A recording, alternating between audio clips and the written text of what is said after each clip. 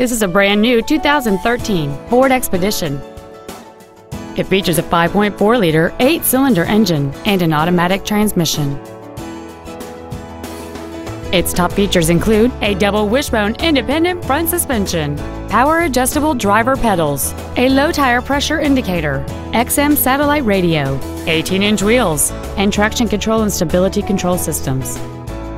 The following features are also included air conditioning, cruise control, an auto-dimming rearview mirror, a leather-wrapped steering wheel, a trailer hitch receiver, a four-wheel independent suspension, running boards, dusk sensing headlights, front and rear reading lights, and fog lamps.